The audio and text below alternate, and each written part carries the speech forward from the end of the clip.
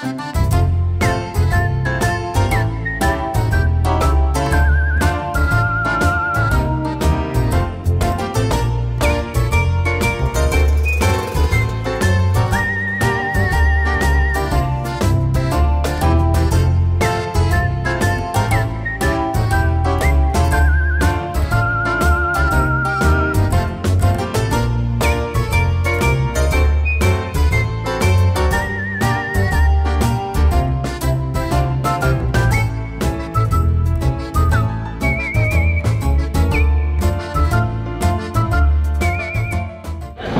Stadtplätze werden äh, ausgelost. Das ist einzigartig. Das gibt es sonst bei keinem Event, äh, was MXGP betrifft oder überhaupt den Motocross.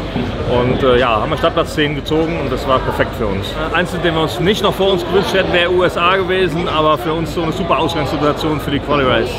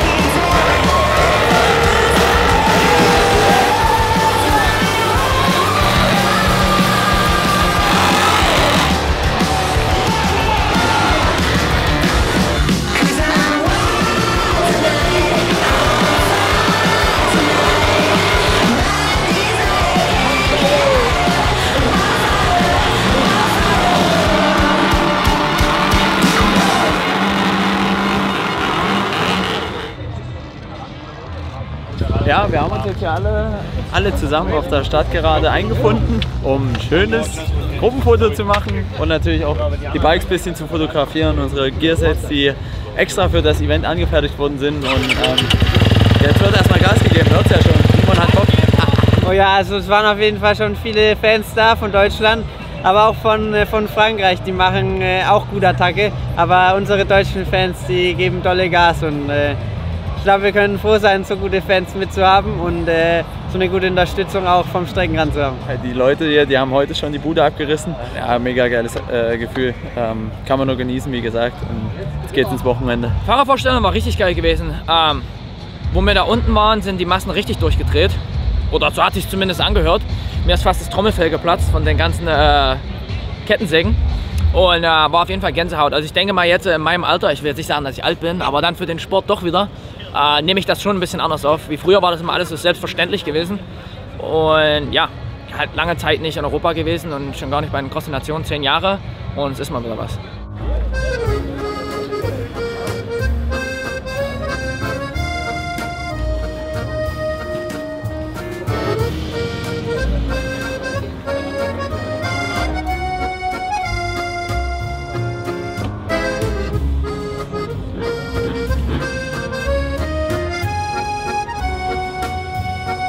Also 9.22 Uhr, ungefähr 40 Minuten bis zum Training. Ja, fühle mich gut. Immer ein relativ langsamer Start, Start zum Tag. Ähm, wenn man um 8 aufsteht, fühlt es sich halt schon an, als ob es noch mitten in der Nacht ist, zumindest für mich, wegen USA. Aber sonst äh, jetzt ja, Stunde wach oder ein bisschen über eine Stunde wach geht das. Äh, ein bisschen Fahrrad fahren, locker machen, warm machen. Und ja, dann kann das erste Training erstmal losgehen. Ich freue mich.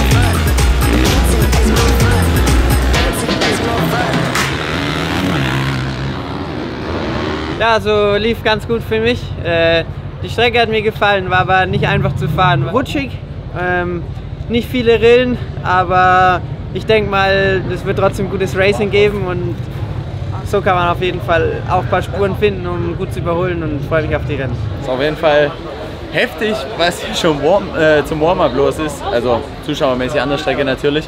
Ähm, Strecke liegt mir, äh, gefällt mir gut. Und ich denke nachher, wir sind jetzt erst 16.30 Uhr wieder mit dem Quali-Race dran. Bis dahin wird schon noch äh, ein bisschen mehr ausgefahren werden, aber wird geil. Äh, wir können als Zehntes ans Startgatter gehen und ich denke, das ist auch eine solide Ausgangslage. Von daher guten Start und dann äh, wird er vorne mitgeheizt. Also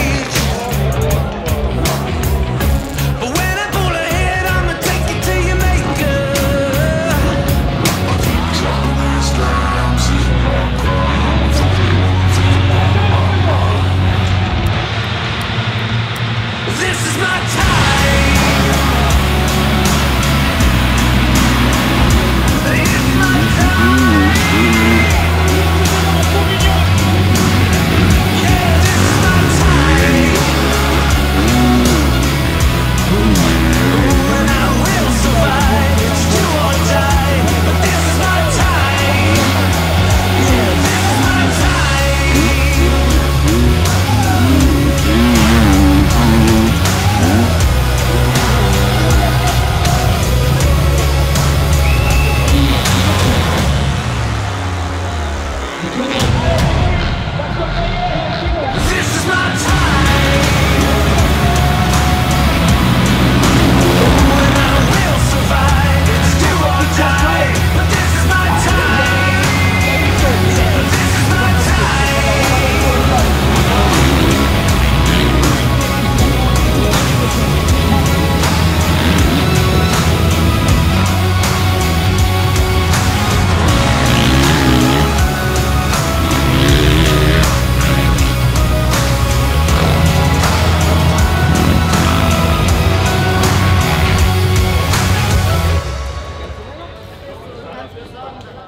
Na, ich hatte fast ein perfektes Rennen.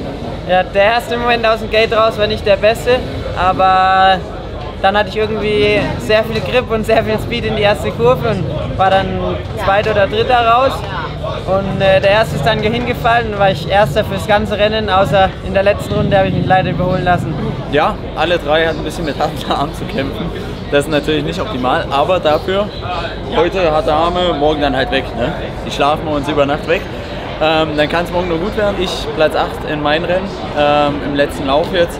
Strecke war ziemlich ugly zerfahren, weil es so richtig harte Kanten waren, aber ja, musste jeder durch im Endeffekt und ich denke mal, morgen werden die nochmal die Strecke ein bisschen präparieren, ein bisschen mehr bessern und so weiter. Eine Million Zuschauer gefühlt äh, sind natürlich Wahnsinn. Also das ist echt brutal, das sieht man nicht alle Tage. Alle deutschen Fans, die auch runtergekommen sind, um uns anzufeuern, ähm, riesen Dank, richtig geil, dass ihr da seid, wird morgen geil. Ja, ein bisschen rostig, aber morgen wird's gut. Quali-Rennen heute hier Samstag in Anne war eigentlich ziemlich gut für, für alle, für Teamkollegen, für mich. Ähm, die Strecke ist halt ein bisschen speziell, ja. Es ist extrem, äh, erstens mal ist alles am Berg, aber es ist extrem steinig und super hart. Und äh, deswegen werde ich zu morgen äh, vielleicht ein bisschen im Setup was ändern. Äh, das hat mir ein bisschen zu schaffen gemacht und somit bin ich äh, ein bisschen tight gefahren. Ich konnte halt äh, das, den vierten Platz rein ins Ziel bringen und Simon war halt bis in die letzte Runde Erster. Und ja, auch Mummel, Tom ist gut gefahren. Und ja, wir sind gesamt Vierter. Das ist, ob wir nun Dritter oder Vierter sind für die Ausgangsposition den Start, ich glaube, das macht nicht unbedingt den Unterschied. Aber man sieht, dass eigentlich äh, im Podium für uns drin ist. Natürlich wird es morgen nochmal härter mit den 30 Minuten plus zwei Runden, zweimal. Und äh, ich hoffe, dass sie heute ein bisschen die, die Strecke präparieren und, und vielleicht ein bisschen tiefer aufgrubbern, dass es nicht ganz so hart wird. Perfekter Tag für uns. Wir haben alle abgeliefert und mit Startplatz 4 sind alle Vorgaben erfüllt für morgen, um äh, ja, das genauso oder besser zu machen. Von daher sind alle total happy und alle sind gesund für morgen und das ist das Wichtigste. Einer kriegt ja immer den besseren Startplatz, weil wir ähm, ja, zwei Startplätze pro Lauf zu vergeben haben und es gibt schon noch ein bisschen ja, Besprechung heute Abend, wen wir welchen Startplatz geben und äh, ja, was für alle das Beste sein wird für morgen. Three hours later.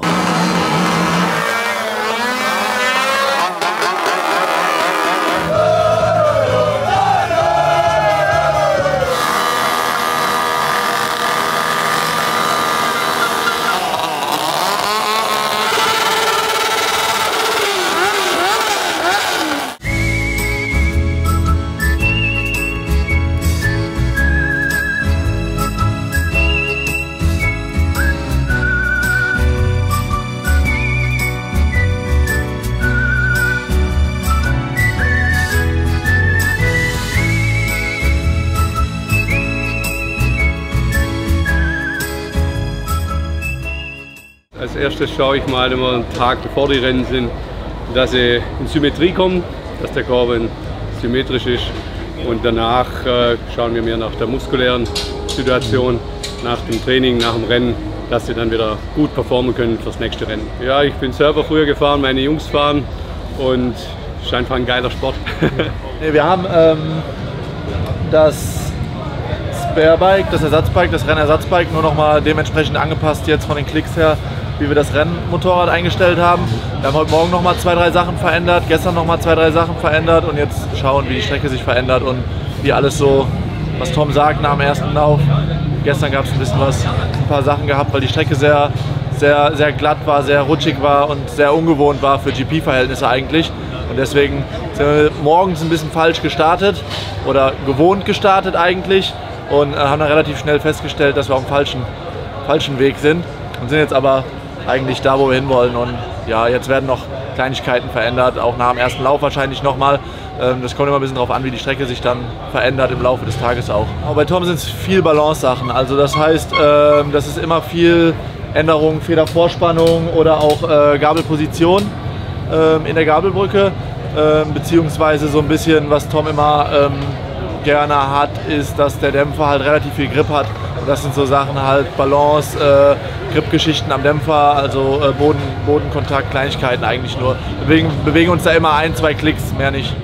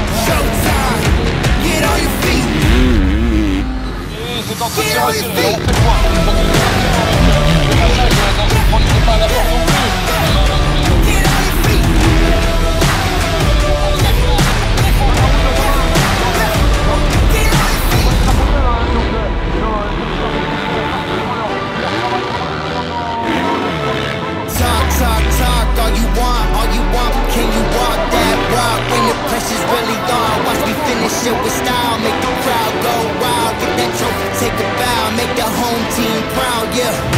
It's my time, go time, show time. Get on your feet.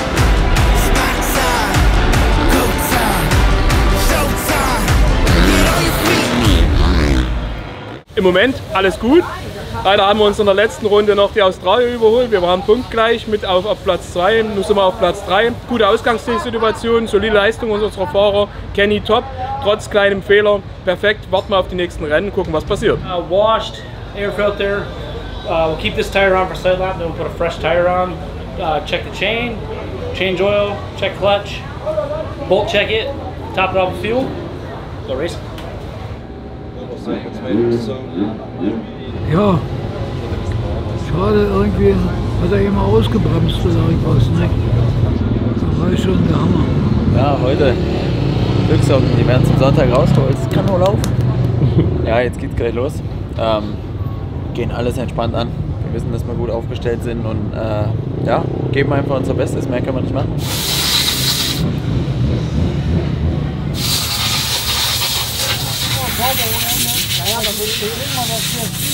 Ja, es ist schwer zuzugucken, aber trotzdem ist es schön, sich zu integrieren und äh, ja, es ist ein geiles Feeling hier bei den Nations auf jeden Fall. Die Zuschauer drehen komplett am Rad und ja, unsere Jungs auf jeden Fall fit und gut dabei. Also es wird auf jeden Fall ein spannender Tag werden und ich hoffe am Ende vielleicht auch ein Podium. Also ich gucke jetzt nicht zu und lerne, aber ich mache auch ein bisschen das Instagram nebenbei von MXO Team Germany und ja, versuche halt uns unsere Zuschauer aus Deutschland äh, ein bisschen zu unterhalten und zu unterstützen.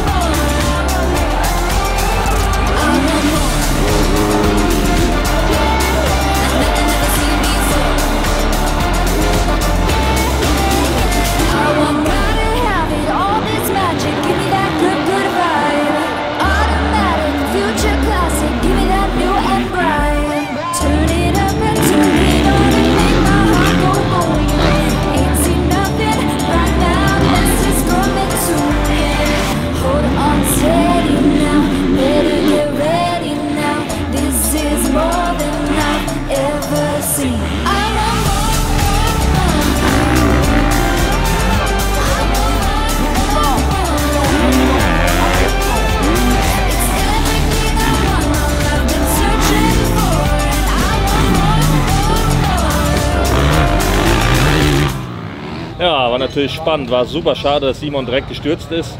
Ähm, ja, konnte er nichts für. Erste Ecke war im vorderen Feld einer gestürzt. Simon ist oben drüber gefahren, hat gelegen.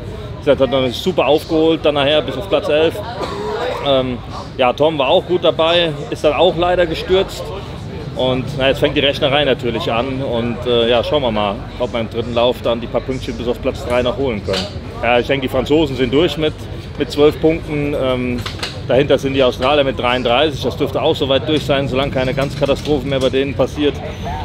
Dann kommen die, äh, die Italiener mit 42, wir mit 45, die USA mit 47 und Belgien mit 50. Also ja, durch die letzten Nationen wird dann das Podium entschieden werden, wenn er noch übrig bleibt.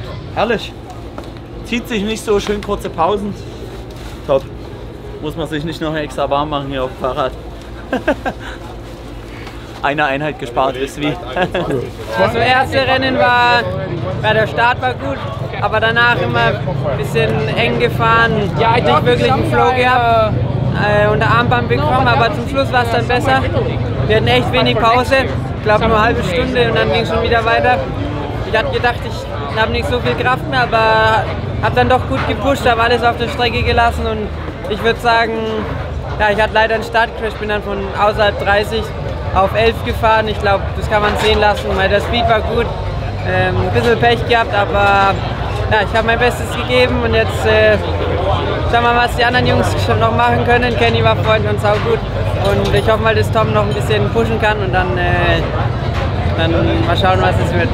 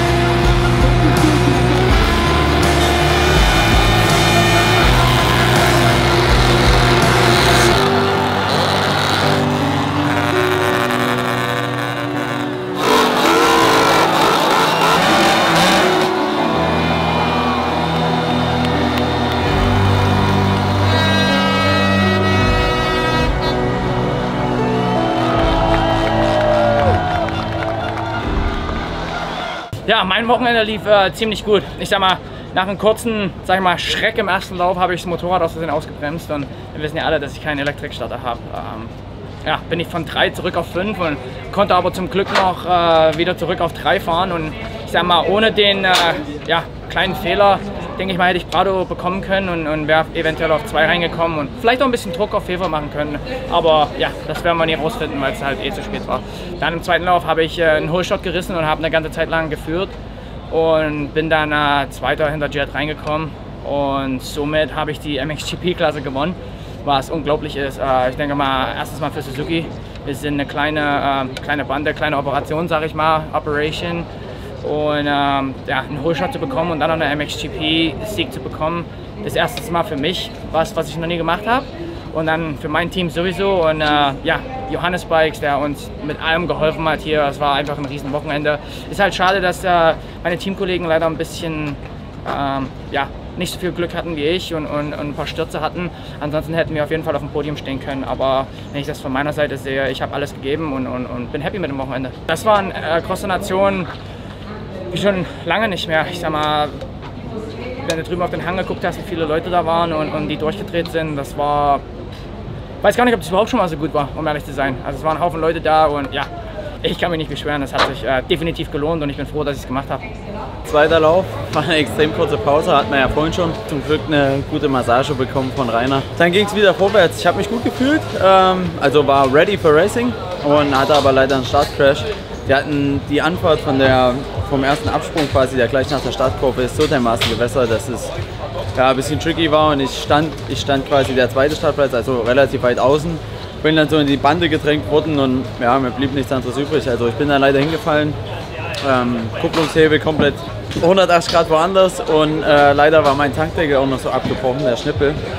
So dass komplett sau viel Benzin rausgekommen ist und ich musste dann in der Box. Da habe ich extrem viel Zeit verloren. Sehr, sehr ärgerlich. Äh, ich weiß nicht, mich ärgert es gerade, mich fuckt es gerade richtig ab, ehrlich gesagt. Aber ähm, wir hätten eine Chance auf jeden Fall gehabt, ähm, aufs Podium zu fahren. Aber so ist es nun mal.